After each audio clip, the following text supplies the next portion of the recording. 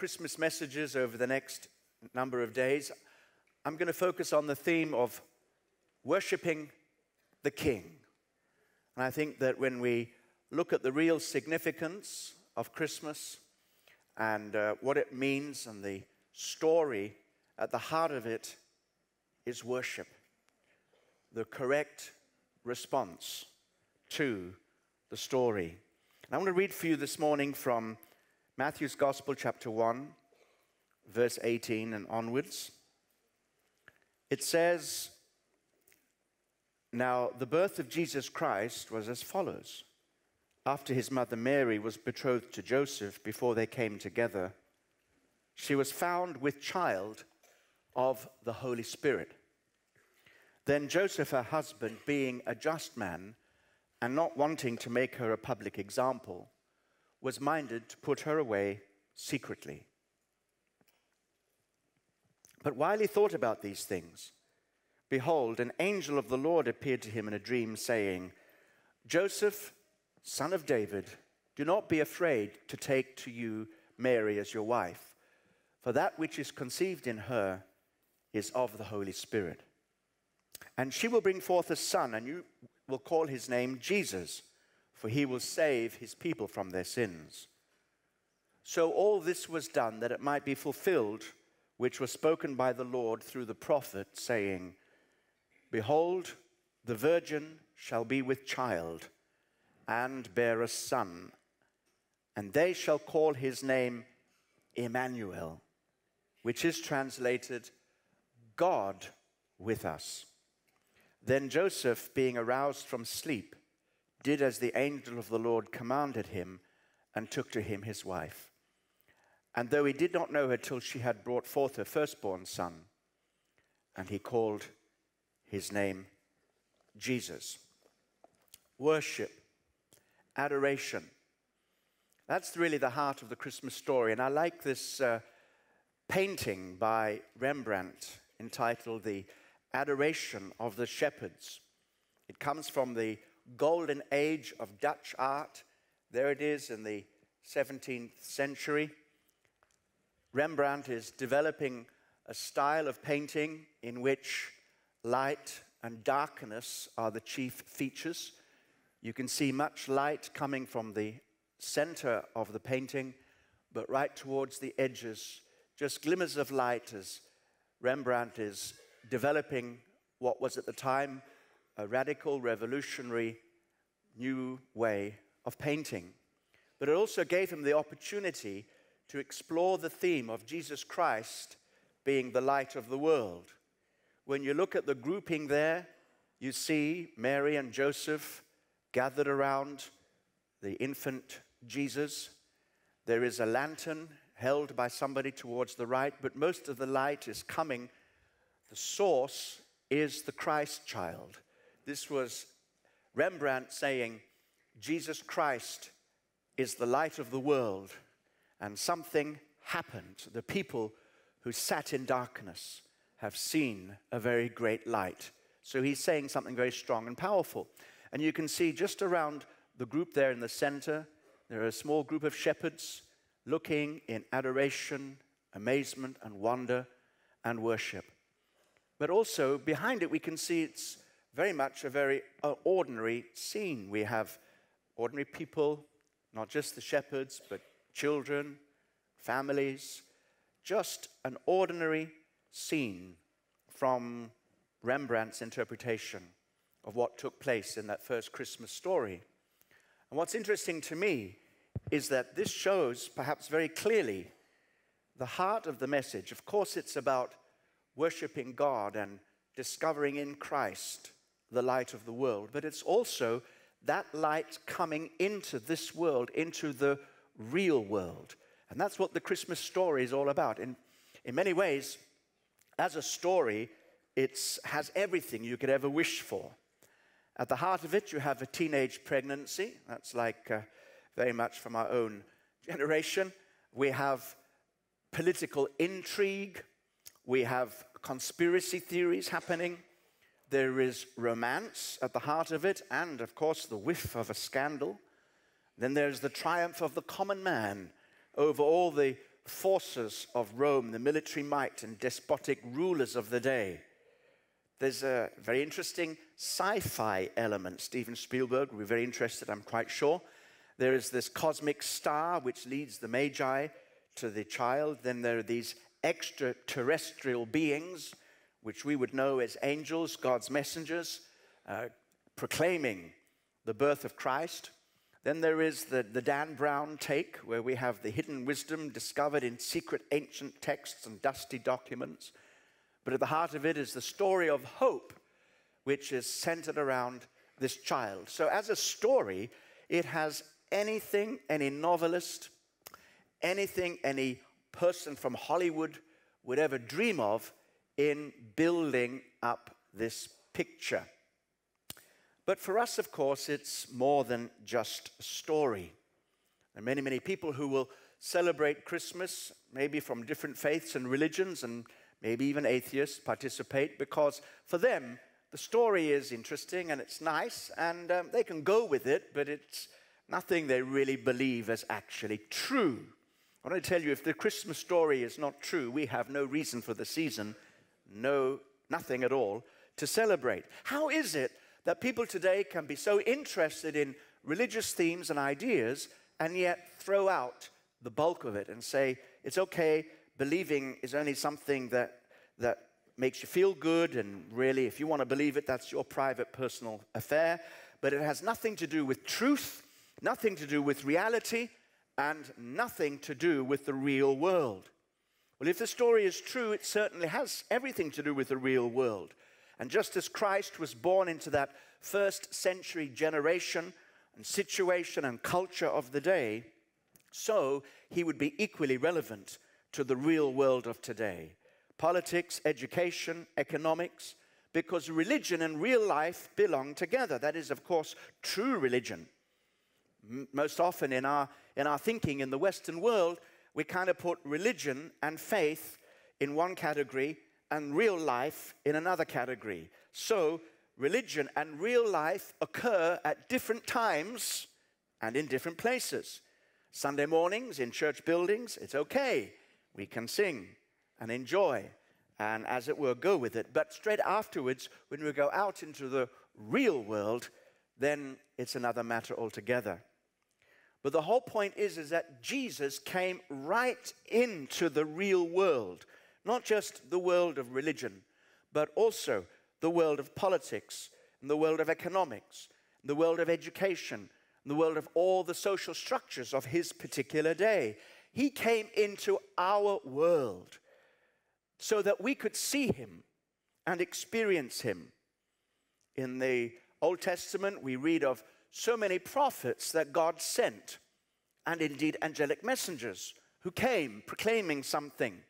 But this time, in the Christ child, God didn't send anybody, He came Himself in the person of His Son. The Bible says, In the beginning was the Word, and the Word was with God, and the Word was God. John 1, verse 1. John 1, verse 14 says, And the Word became flesh and dwelt among us, and we beheld his glory, the glory as of the only begotten of the Father, full of grace and truth. The word begotten really is badly translated right there. It just means the one and only one, the unique one, the unique Son of God. He was never begotten, he, he never came into being. He always was. He is the eternal Son of the eternal Father. But what's of interest to me is how very carefully John, who writes this, is, is, is taking time to express how real this event was. God becoming man. It says, the Word became flesh. And the word flesh here is perhaps the word that most accurately communicates the reality of human existence. We say to ourselves, flesh and blood. And we speak about, he could have talked about human personality. He could have said, well, he became a real human being. But he chooses a word that expresses the frailty of human, of humanity, and saying he really did become fully human in every way like we are, except without sin. And because he became flesh, we were able to see him. In other words, he was manifested. And isn't this the problem? We talk about the real world as if that's all there is. But the real world is only part of the total picture of reality. Beyond what we call the real world is the kingdom of God. And we, when we worship Christ as King, we're acknowledging that there is another do- domain, uh, a spiritual realm, the kingdom of God, which is which reflects the ultimate reality. So our world is far beyond what we can see and touch. It goes beyond that. Reality goes beyond just the physical, and it takes a visitation from the invisible being made manifested in the visible so that we could see him and hear him and touch him and know him. That's the beauty and marvel of all of this. So, the Word who was in the beginning with God, that Word was made flesh, He was manifested, made visible by becoming a man, and He dwelt among us. That's why we could behold His glory. And so we see that Jesus is God coming into this world with all its history, with all its reality, and becoming part of human history is so relevant to our experience today because that history continues right up until today. Now, of course, it didn't just happen, there is a massive historical background to this. All the Jewish prophets who spoke and prophesied uh, was, were fulfilled when Jesus came. The historical events of the Old Testament building up, preparing the world for the coming of Christ, indeed, the very historical setting of first century Judea and the Roman Empire. All of that is set up as real history into which Jesus came. And when he came, he was manifested and, and therefore capable of being seen capable of being talked to, capable of being touched. And uh, this is the eyewitness testimony of the Bible. You see, when he came into the real world, he came to show us ultimate reality, not just more about our own world. And the whole of the gospel record depends on historical eyewitness accounts of actual, real events. This is not just a story, this is real. Take a look at 1 John chapter 1, verses 1 through 3. Here we have the apostolic testimony. We need to understand that these people were in as much need as evident, of evidence as you and I are. You couldn't just go to a first century person and say, hey, God's shown up especially not to any Jewish people, because for them, God was so remote that this, this, uh, this uh, description of God being manifested in the flesh was highly controversial. It was something that they needed to be persuaded about, they needed to be convinced of. Don't think that just because they lived in the first century, they are gullible. And we in the 21st century, we're not so, we, we are more cynical. No, no, no. Every human being needs to see and know for themselves. And the apostolic testimony is like, like the eyewitness reporters, the, the, the CNN news reports of the particular day. John 1, 1 John 1, verses 1 to 3. That which was from the beginning, that's this other world, which we have heard with our own eyes, uh, which we've heard, which we have seen with our eyes, which we have looked upon and our hands have handled concerning the word of life. See, John is saying, We saw him, he was visible. We heard him, he is audible. We handled him, he is tangible. This is real. Verse 2 the life was manifested, and we have seen and bear witness. Can you hear what he's saying? He's saying this is not just a story that's made up. We're, we're telling you what actually happened. We were there. We saw it. We heard it. We experienced it. And we're telling you about it, and our testimony is reliable. Can you see how historical the Christian message is? It's not just some ideas that we have. You see, this is the problem. A lot of people say faith is believing something that you think rather than what you know to be true.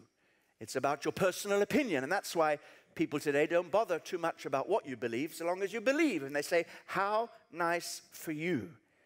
But if Jesus Christ is the King, it's not just nice for us, it's essential for us and essential for the whole world.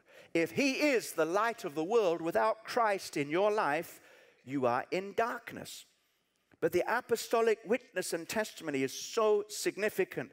They say, We have seen this and we bear witness, and now we declare to you that life which was with the Father and was manifested to us. And so here we have the direct witness of the New Testament, which carries integrity. Not just textual integrity, but the reliability of the witnesses.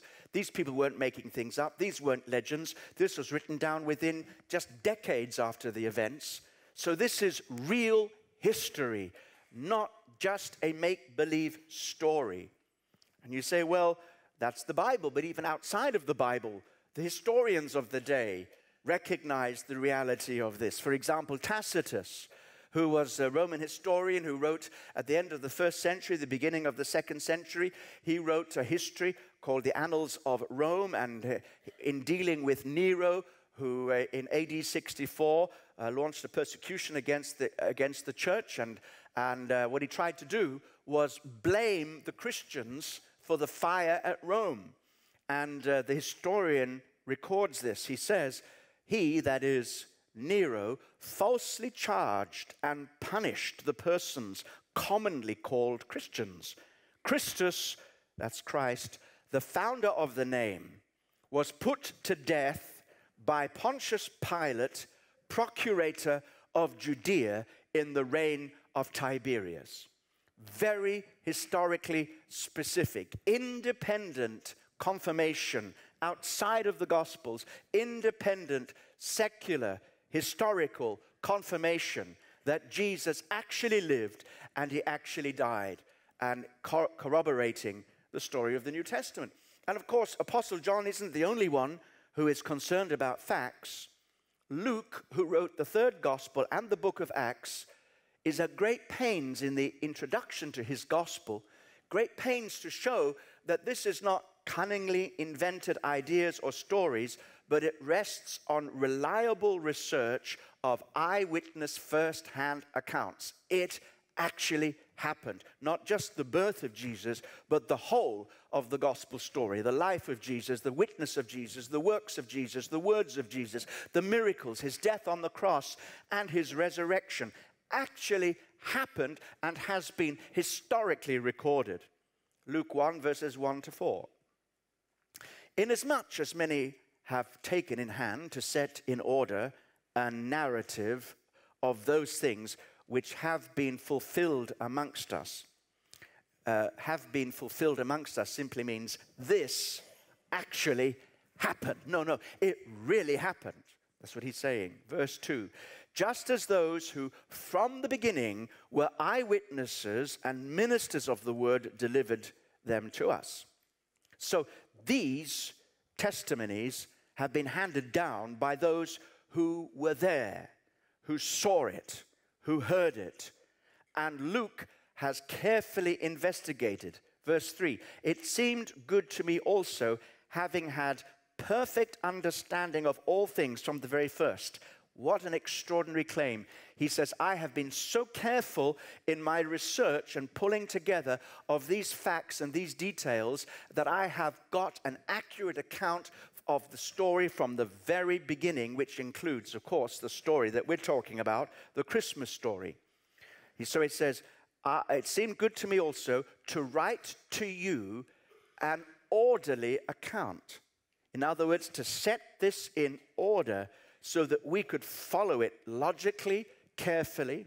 And of course, it was all written and published at a time when people themselves could have corroborated or falsified what he had to say. This was not just something made up and hidden in a corner. This was published abroad, and people could contradict it. People would come and say, That you haven't got this right, you haven't got that right.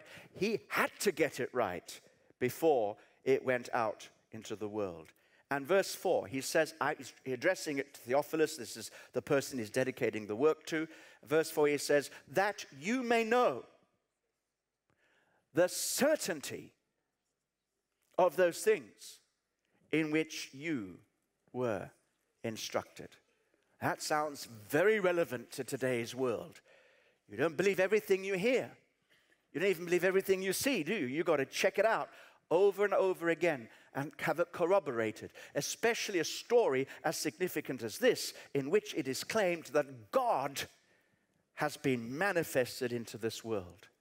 And so we could go on and, and maybe develop the whole argument and the presentation of these things so that you could become convinced on evidence alone, not personal experience, but evidence alone that Jesus Christ is Lord, that He is God manifested in the flesh. But if you come to that understanding, then something has to change. There has to be a response because this can't be, oh, how nice for you. No, it's not just nice for us.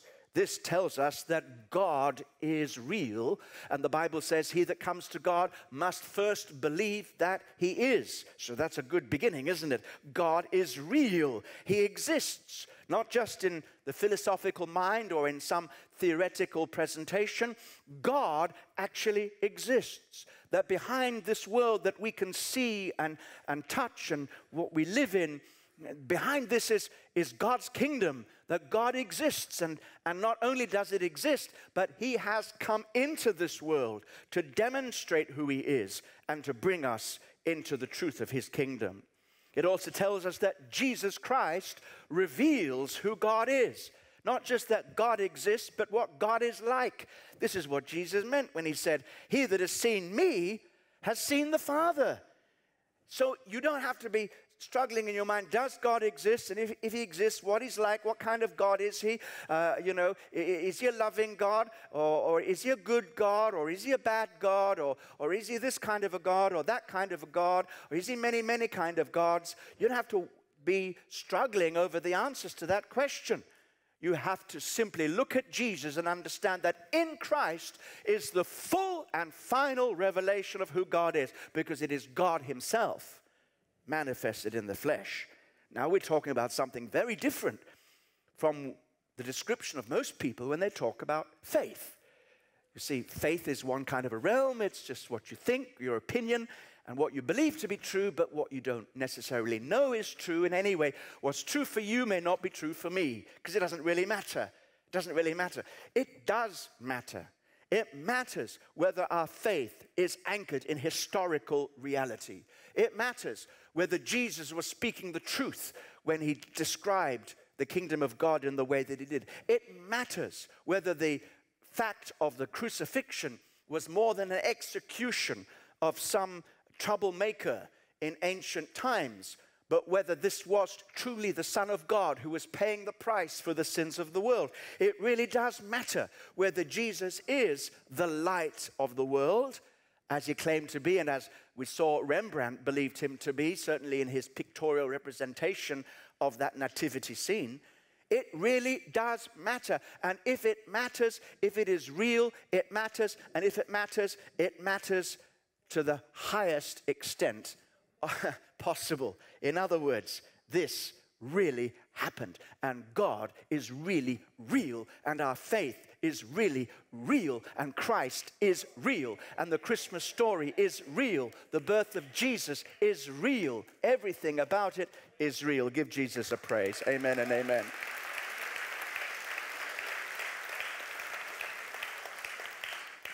So, if, if it is real, what's the purpose?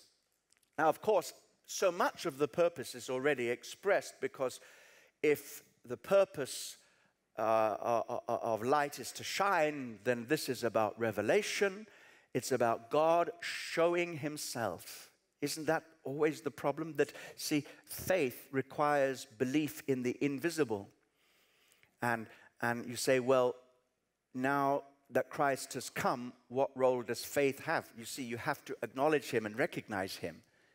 It's not just that he came, but that you must go beyond the knowledge that he came. You must recognize him for who he is, and you must respond in a way that is appropriate to what's happening. That's why the adoration of the shepherds and, and this theme about worshiping the king is so important because we're so used to worshiping ourselves, we're so used to worshiping other people, we're so used to worshiping the created things rather than the creator that this is going to bring a radical reorientation of our lives. And this was the mission of mercy, this great rescue mission that Jesus came to execute. And this form of revelation for me is, is, a, is a reality check. It's a reality check. You know, one of the things that we are dealing with in our society is what we can call secularism. And what that is, is listen, you religious people, you're quite entitled to believe what you want to believe, but privately, quietly, on the side, sidelines, and we'll kind of respect your right to hold that opinion, and that's all very well for you, and we'll go along with it to a certain extent, but don't ever, ever expect that to be put in the center stage of our world, of our society. Don't, don't, don't think that. Keep it to the sidelines, keep it private, keep it marginalized, because we all really know that this isn't true. This is just fairy, fairy to- story. You know, it's just, okay, it's all good, mythology, it's all good, legend, it's all good, but it's not true. Suddenly, when we approach the Christmas story, recognizing either it is true or it's not true. And if it's not true, it's not worth anything. Amen? Because it's a lie. But if it is true, it's worth everything. Just as Jesus came and lived. Did you notice how Jesus spent the first 30 years of his life before there was any public declaration? Before the Father spoke to, from heaven saying, This is my beloved Son. Before Jesus went to proclaim the kingdom of God, speaking and acting as Messiah, the anointed one, the Holy One of God, demonstrating by his creative miracles, by his breathtaking teaching, the stunning demonstration of who God is and, and the public presentation of the reality of God in this world. Before that ever happened, Jesus spent 30 years living a kind of normal life. He was, as we know, that baby in the manger. Then he became the toddler in Galilee, and then the adolescent, and, and then on to that into young adulthood. We know of his family, we know of his profession. He was the son of a carpenter, he took care of the carpenter's shop. We have every reason to believe that Joseph, his adoptive father or whatever, because we know God was his father, Joseph had nothing to do with bringing Christ into this world, but he was his father, uh, earthly father figure, uh, uh, and he passed away. Everything we know suggests that Joseph died ahead of Mary. And uh, so Jesus would have had responsibility in the home. And he was working, earning his living, supporting his family. He was a brother to the brothers and sisters that were born to Mary and Joseph after Jesus was born, because he was born uh, when Mary was a virgin, and this was a supernatural work of God's Holy Spirit inside the womb of Mary. But this tells us that Jesus has really come into the heart of life and living on this planet. And so, therefore, there is no part of human life and experience that is not relevant in the kingdom of God. Family life, to be a child, the son or a daughter in a home, to be a cousin, to be an uncle. There we have family life. God saying, I want to be at the heart of your family. I want to be at the heart of your family life. I want the whole of your family life to be built around me because I care about family life. I care about children. I care about adolescents. I care about young people. I've been through it myself. Jesus has lived through it all. I care about what it means to earn your living. I know what it is like to live as a stranger in an occupied land. So there's political tensions and cultural and social tensions. Jesus experienced every single thing that you and I experienced, and in doing it, he experienced it victoriously. And there's hope for us all. Hallelujah. We know that we don't live 100% sin free, either before we're saved and even after we've been saved. I've been around long enough to know that. Uh, uh, you think I'm thinking of you, I'm thinking of me. Anyway, all right. So we, we, we know that there is weakness here and failure, but, but Jesus was successful. He successfully pleased God in every part of his life. So, this means that the reality of our faith is not to be kept to a certain time and a certain place. 11 o'clock, Kensington Temple, Sunday mornings. Yes, this is exciting. Amen. But beyond this, he is relevant at 1 o'clock on Sunday and at 3 o'clock on Monday. He is relevant every day of the week because something has happened that has taught us to redefine how we live, who we live for, and at the heart of it is this worshipful recognition of who Jesus is, that he actually came. He is real and relevant to the whole of life. And this is one of the things that we stress here in Kensington Temple, almost above everything else. Certainly, it's the point of almost everything we do. Your job is to recognize Jesus to such an extent that you reflect Him every day of your life. And you walk with God and live in the kingdom. And don't let people marginalize either you for being a Christian or the faith that you profess. And you can stand up. You can stand up to people. You don't have to, ever have to back down. People say, oh, that's what you believe.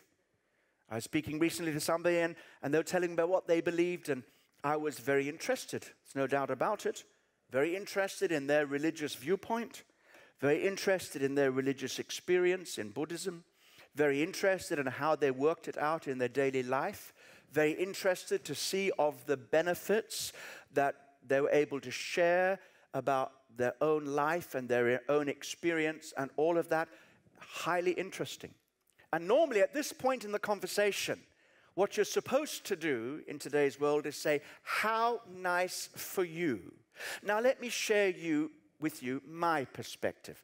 And then you share your opinion, and they share their opinion. And you might bring other people into the discussion till you have as many opinions as there are in the people in the room, and sometimes 10 times more opinions than there are people in the room. And it's all a world, realm of opinion.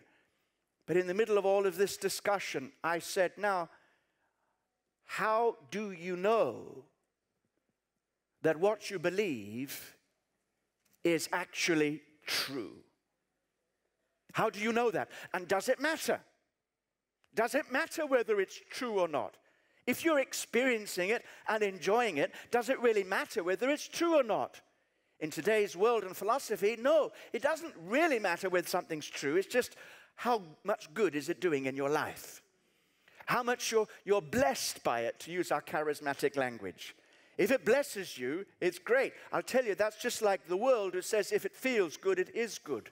The truth is, we know that it's more important than that. I said, the answer was, Well, I, am not exactly saying that. I don't really know. So I said, You are staking the whole of your existence and eternity on something that you are not even sure whether it is true or not, and you can't give me any reason to demonstrate why it is true.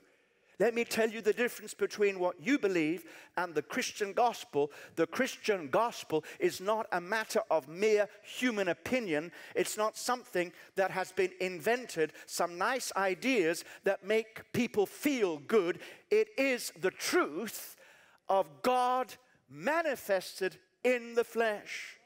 And when he came, he came for some very, very good reasons.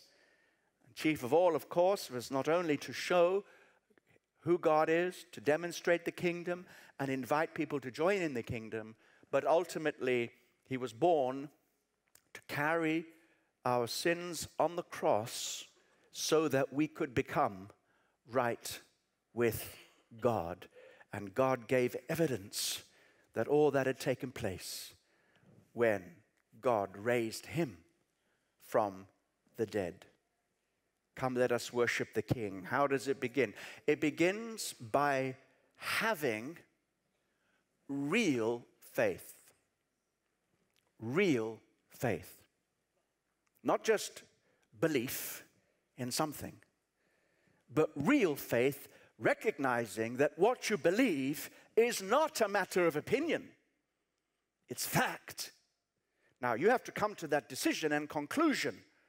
And even if you did, say, suppose I was able to go to look at all the references, the historical textbooks, and everything, and build everything up point by point, case by case, so you were able to say, Yes, I am intellectually persuaded, I am convinced that your arguments are sound, that this is reasonable, it makes sense of the best sense of all the facts and evidences that we can have, and uh, and I actually actually believe, yes, God was manifested in the flesh. All right, that would be a very good beginning. Do you agree? But it's not enough.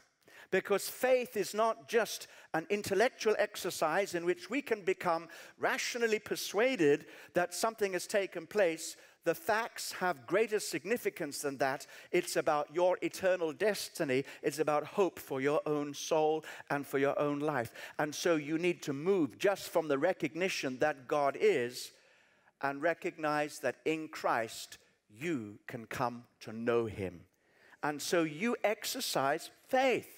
And this faith that we speak of is not totally unrelated to reason and to experience and to facts that we've been speaking about, but it is something deeper because it's putting your trust in those very facts. One of the stories that preachers often tell, and I think it's a true story, but the illustration is worth it anyway because it, it, it shows a picture. Blondin, the uh, tightrope walker apparently strung tightrope across Niagara Falls, and he walked up and down in that, and it was really good. He did, did it well. Then he wheeled a wheelbarrow across, and then they, he said, How many people believe that I could wheel them from this side of Niagara Falls to the other side? Everybody'd seen that he'd just done it. So they said, Yes, we believe that you could do that. So he said, Who will be the first to get into the wheelbarrow? And, and of course, nobody was willing. Because it's one thing to believe that he can do. It's another thing to trust him to do it to you. And this is the difference between just knowing about Jesus, even if you are convinced that these are facts, and it's important whether they are facts, whether they are true or not true. Even if you were convinced, you still need to come like those humble shepherds and adore him. And that begins by the exercise of real faith. I want to close just by taking two cameo shots of from the Christmas story of two characters to illustrate this. I'm going to take you first to Zechariah, the father of John the Baptist. Luke chapter 1, verses 18 through to 20. And I'm sure you know the story. Zacharias was on deacon duty in the Jewish temple. What that meant was that he was on duty to show up and, and get involved in certain of the apparatus and preparation for the functioning of the temple. And as he was about his business, an angel appeared to him and said, You're going to have a child. And prophesying the uh, pregnancy, the conception of John the Baptist and Elizabeth, his mother, being, becoming pregnant. And um, this is, this is the response Luke 1, verse 18. And Zacharias said to the angel, How shall I know this? For I'm an old man. And if you think I'm old, my wife is well old. Well, as a slight paraphrase. My wife is well advanced in years. And the angel answered and said to him, I am Gabriel, who stands in the presence of God and was sent to speak to you and bring you these glad tidings. Can you hear what he's saying? He's saying, You don't get it, do you? I am Gabriel, archangel. I stand in the very presence of God, and God sent me to tell you this good news. And all you can say is, How do I know? so Gabriel then says, You want to know how you will know? I'll tell you how you will know. Verse 20 But behold, you will be mute, struck dumb. You will not be able to speak until the day these things take place because you did not believe my words, which will be fulfilled in their own time. Now, it sounds like Gabriel is mad with him and um, is cursing him and saying, I'll, I'll teach you a lesson. You know, if you can't speak words of faith, then you won't let you say anything at all. And I guess there can be a judgment element here. I guess that. But he is answering Zacharias' question How will I know? This is how you will know. I'm going to give you a sign. I'm not going to let you go around spreading your unbelief. Zip it up. You will not be able to speak until it is fulfilled, and then you will know that this has come from God. So there is mercy here. There is real mercy here. But the response that I want to focus on was that Zechariah did not believe. I don't know whether he got out of the wrong side of the bed that morning, whether he had too many mince pies the night before. I don't know. I don't know whether his auntie had given him yet another knitted woolen jumper that he'd rather have done without. I don't know why, if he was just in a bad mood. I don't know whether he felt particularly weak and frail. I don't know whether he had long since given up hope of ever fathering a child. Now he is beyond it. He's past it. And if he doesn't think he's past it, he takes one look at his wife and says, Well, she's definitely past it. There's no way this is going to happen. But out of the impossibility of human frailty and human limitations, God sends an angel to speak a miracle into existence. And that gives me hope today. Whatever situation you find yourself in, it might be such an impossible situation that you're sitting here saying, Well, it could never happen to me. Watch out, because it could happen to you. If God speaks it, it's settled in Jesus' name. Amen and amen.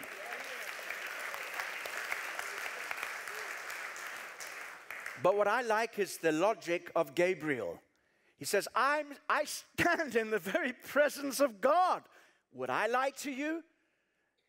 How could I lie to you? I'm telling you the truth. God's in it. God's gonna do it, Gabriel says. And the right response is to have real faith. Wow, I take it. Amen. Real faith. No, oh, that's a nice story. Oh, guess what happened to me today? I met an angel. You did? Well, how do you know it was an angel? I don't know, but it sounds good, doesn't it? No. Doesn't matter if you believe me, I don't believe. Anyway, that's it. It's not anything to be trifled with if this is reality, if there really is a God and in his presence are the angels, and he sends occasionally his angels to deliver a message of intervention into the earth realm so the kingdom of God can come and people can receive Christ and be saved and come into the kingdom of God and become true worshippers of the one true and the living God, if any of that makes any sense at all, then it has to be a response of real faith. No, no, I just accept it. No, no, don't just accept it. Do you really, really believe it? Because if you really, really believe it, something is going to happen to you that will change the rest of your life. And not just you in your own individual way, but it will have an impact on those around you. This won't just be a faith on Sunday that we do something in a different place and a different time from what we do for the rest of the week. No, this will permeate every aspect, every moment, every microsecond of every day because it's that real and it's that true. Okay, we started with him, and that he gives us hope because you see, even Zacharias, you see, you think he's a Bible character, and therefore he'll just be an automatic believer. No, there's no such thing as an automatic believer. It takes the gift of God, it takes a miracle to open up our hearts because as human beings we're so resistant to understanding the reality and the truth of God. But when we accept him and when we see it and we really believe it, what a difference it makes. Now, the next person is Mary herself. Luke chapter 1, verse 38. Mary herself. Now, you will know the story. Same angel visiting this young, teenaged young woman and saying to her that she is going to be the human vehicle through which the Christ was to come into the world. And not just that she would give birth to a great heroic leader, somebody who would rise up as a, a leader, uh, uh, uh, maybe bring a revolution or to bring some kind of restoration to the sanity of Israel, to somehow throw off the Roman yoke so that we'd have a great political leader, a Nelson Mandela type figure. No, a greater than he. He shall be called the Son of the Most High God. You will give him the name Jesus, for he will save his people from their sins that which is in you shall become great, and he shall be called the Son of the highest, the Most High God. This is God manifested in the flesh. Now I ask you, which is harder to believe? An old man and an old woman are going to have a baby, or this virgin young maiden is going to bring God into the world. I'll tell you, the thought knowledge that God was coming to the world through this lady's womb, beginning by the, with this tiny impregnation deep in the midst of her womb, created by the Holy Spirit, God becoming man. That is, that takes greater faith. But she had it. Her question was, How can this be? She hadn't understood. She said, I'm a virgin. I've not known a man, and even right now I don't know a man. She was betrothed to Joseph. And in the Jewish system of the day, first there was a betrothal, which was where the marriage vows were exchanged. Then there was a period of time in which the bride and the groom, the husband and wife, lived separately until the coming together in their marriage, and that's when it was consummated. They were truly married at betrothal. That's why the issue was about divorce at that time. You remember, Joseph was thinking of divorcing her. It had to be a divorce because they were legally, covenantally married, but they had not been physically joined. And during this time, there's no hanky panky, okay? Even after the vow, can you imagine that you think it's hard today? So at least, at least when you've made your exchange your vows, you can get on with it. But uh, up until then, no. But even then, you make your vows, and so you're committed, and there's still nothing. Anyway, let's not go there. So, so it was a serious situation, and she just didn't understand how's this going to be. And he said, "Look, I'm not talking about natural procreation." I'm not talking about you and Joseph having a child. I'm talking about the Holy Spirit working in you a supernatural conception which will be God manifested in the flesh. Now, that is even, I mean, you know, sometimes the explanation raises more questions. And I know scholars and philosophers and theologians have been struggling about that ever since. How does that work? Don't tell me you have to kiss your brains goodbye the day you become a Christian. The Bible teaching and the gospel story gives you enough stuff to reflect on for eternity to stretch the tiny little gray cells that we falsely call our human brains. No, she was satisfied. Her question had been answered. How, how can it be? So, verse 38 how does she respond? Then Mary said, Behold, the maidservant of the Lord. Let it be to me according to your word. What's that? That's faith. Real faith. If God has said it, That settles it. If God has said it, then it will be according to His word. That's what faith is. Faith is believing God's word. She didn't ask for a sign. Show me. How will I know? No, you explain how it's going to happen, and I receive, I accept it. And that was real faith. And today I call you, even as a believer, to real faith. If you're not yet a believer, then do it now. Put your faith and trust in Christ. Going back to that former illustration, get in the wheelbarrow and say, Yeah, I will trust this. I will, I will go with this. I believe it, and I'll commit my life to it. But even if you have faith, make sure that faith is real. In other words, you know that this is not just, as our society tells us, a matter of human opinion. This is not just the Christian view. This is the light of the world, God manifested in the flesh. And if that's the case, suddenly everything changes. Not only our own life, not just how we worship and the carols we sing and the songs we sing. It's how we live day by day at home, in the family, in the workplace, in the place of education, where, and how we influence our society, how we witness for Christ, how we demonstrate the reality of our faith by what we do, so that people will see Christ in us and begin to say, Yes, there's something in this. I've seen Christ. I've seen him. I've seen him in you. I've seen him in you. I've seen him in you. And then, most important of all, we will not keep our faith and our religion private, just to the sidelines. No, it will cause us to express Him in everything we say and everything we do. And when we fail, and we will, as frail human beings, we go back to the one who never failed and thank Him for His love and His atonement, His sacrificial death on the cross For he who was born was born to live and to die, that we might find life in him. Let's pray. Father, we ask you to underline the reality of these things. We know at times, Lord, these great truths are easily rehearsed glibly spoken of. But we thank you that your word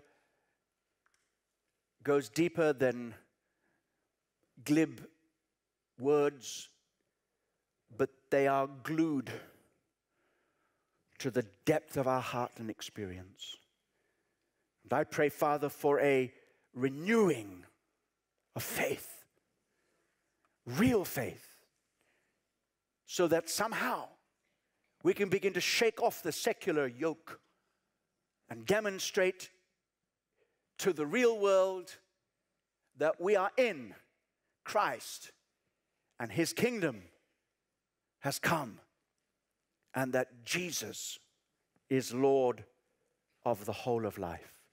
We say, Father, we believe, and Father, we receive. In Jesus' name, Amen and amen. Give Jesus a big praise. God bless you.